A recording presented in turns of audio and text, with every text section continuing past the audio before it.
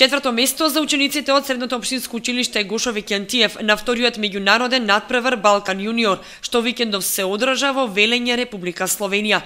Учествуваа седум држави, а учениците од Гошови Кјантиев беа единствените од Македонија и ја представуваа државата. Дема седум држави учество Македонија, Србија, Босна и Херцеговина, Црна Гора, Словенија, Хрватска и Турција.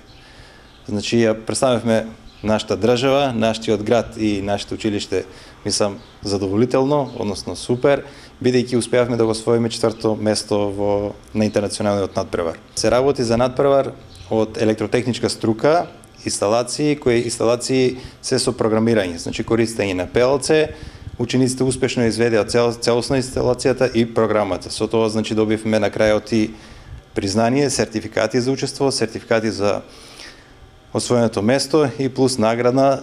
Наградата е значи една алатка која може да програмираме процесори во Windows, процесори значи во C++, во Android. Екипата од Гошове Кентиев беше составена од две ученички Ивона Вареловска и Сандра Цветанова под менторство на професорите Роза Војновска и Владо Симеонов. Го представувавме нашата школа на надпреварот во Словенија, во кое зедовме четврто место.